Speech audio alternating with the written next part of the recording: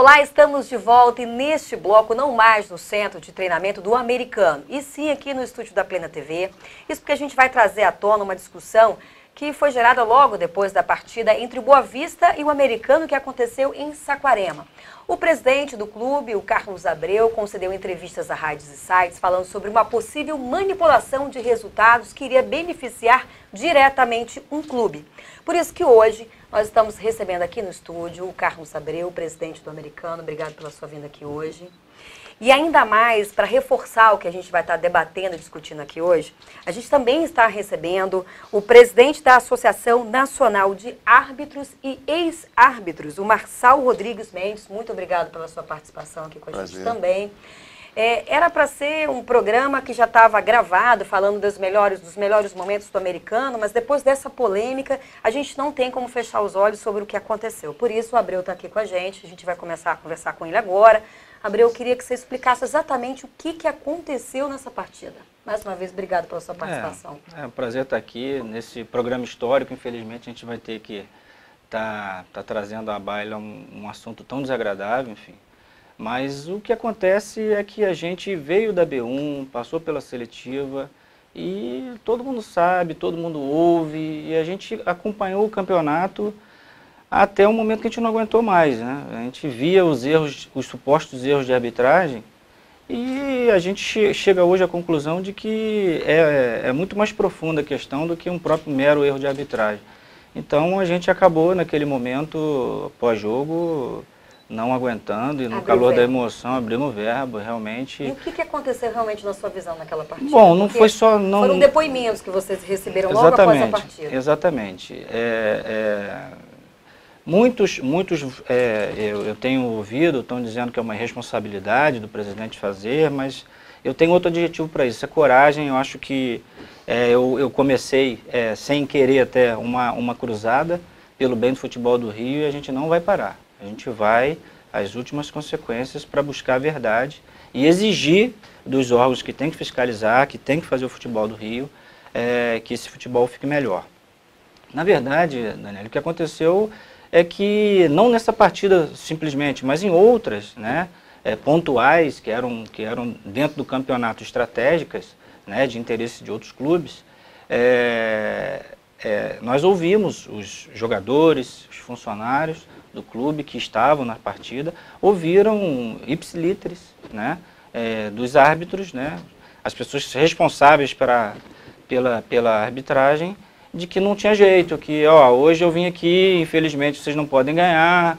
E é, é uma coisa que para mim é estarrecedora. Eu, eu estou né, no futebol há pouco tempo, mas a gente ouvia falar, mas quando acontece com a gente, é, não dá para segurar. Não dá Ou seja, segurar. não importasse o resultado que desse ali a favor do americano, o Boa Vista tinha que ganhar aquele jogo para beneficiar diretamente um outro clube que também briga para estar tá entre os 10 nesse campeonato carioca. Pois é, essa, essa, essa questão é, e a presença do presidente Marçal que é, é muito importante para a gente, porque essa cruzada não é contra a FERJ especificamente, contra os árbitros né, do país, do, especificamente do Rio de Janeiro, é uma cruzada pela, do bem contra o mal. Eu, eu, eu falei isso no vestiário para os meus atletas no último jogo, falei, olha, isso deixou de ser só futebol, isso agora é, é uma guerra do bem contra o mal e a gente tem que separar o joio do trigo, a gente tem que fazer e a gente vai exigir que, que a COAF, que a FERJ tome as medidas que a gente entende devidas para que sejam apurados esses, esses fatos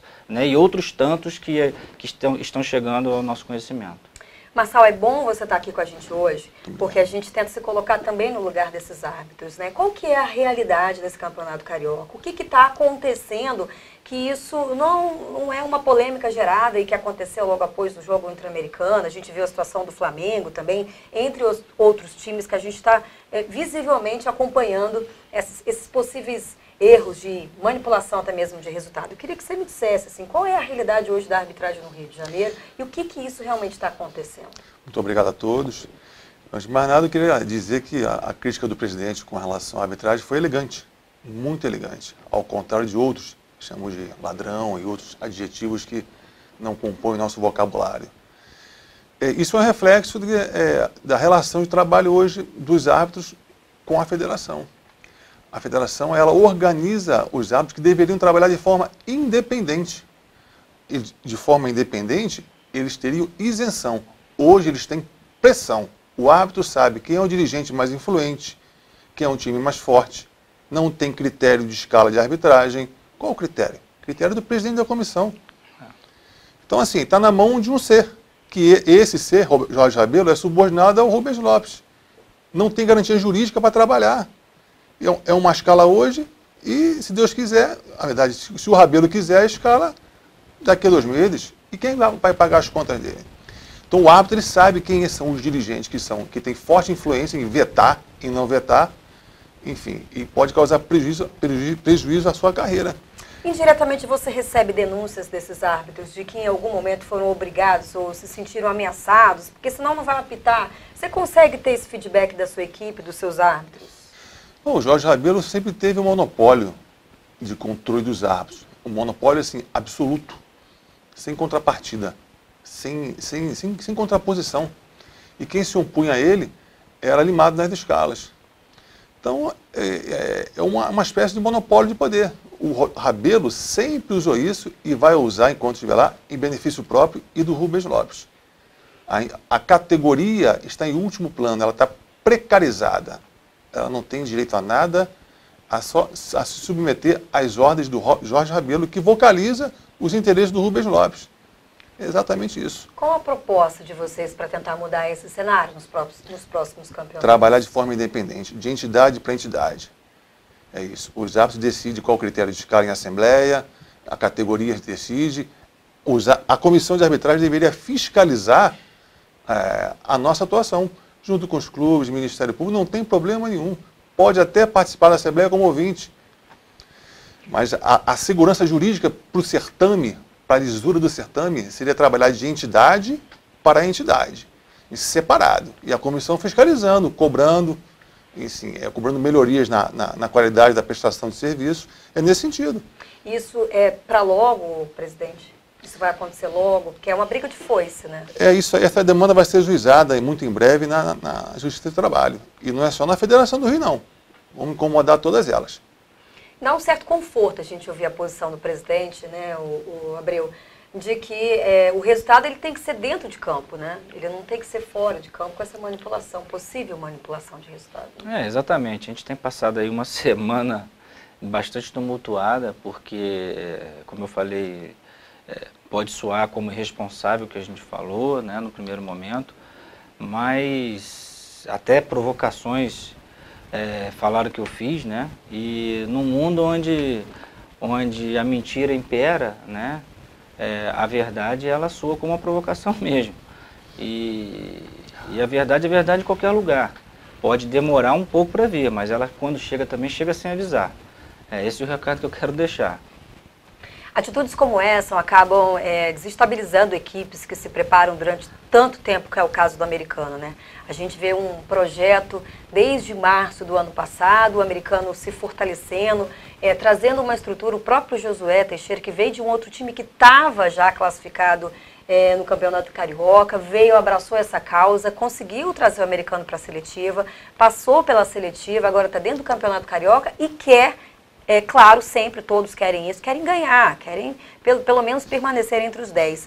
E é uma tarefa árdua e difícil, que qual, qualquer clube passa por isso, né? Porque você passa pelo âmbito da questão financeira para você manter um clube que não é tarefa fácil, não. E que o resultado aconteça dentro das quatro linhas. Fora dessas quatro linhas é vergonhoso, é desonesto, principalmente com o americano e com todos aqueles que estão ali pleiteando uma boa classificação no Campeonato Carioca, Abreu. Pois é, a gente teve, a gente teve episódios nesse campeonato que, inclusive nesse último jogo, a equipe de arbitragem fez um faz de conta, porque a comunicação estava desligada por ordem do árbitro. É, é, é uma coisa surreal. Você, é, se eles têm que se comunicar para interagir e tomar as melhores decisões, é, para mim soou, soou mais ostensivo que isso, é, é por isso que foi a gota d'água esse jogo. Porque a gente viu aqui uma, uma situação num jogo, no outro, é normal, aqui ninguém está tá, nem vamos reclamar de erros de arbitragem, porque eles vão continuar existindo, porque errar, todo mundo erra, a gente, nas nossas decisões, a gente consegue Exatamente. errar, e em qualquer profissão existe isso, né? A gente tem que cada vez se qualificar mais, né? E, e, e evidentemente, ser cumprido o Estatuto do Torcedor, né? Dando total isenção e, e autonomia aos árbitros, e realmente não tem isso. Isso hoje não existe no futebol do Rio de Janeiro, e, e, a gente sabe, já me perguntaram também sobre represárias. Já, Abreu, você está preocupado de ter represária? Eu espero que eu não tenha. Eu espero que eu não tenha. Porque, e nem o americano. Porque a gente está tá falando a verdade, né? É, buscando a verdade, eu acho que, que ela tem que prevalecer.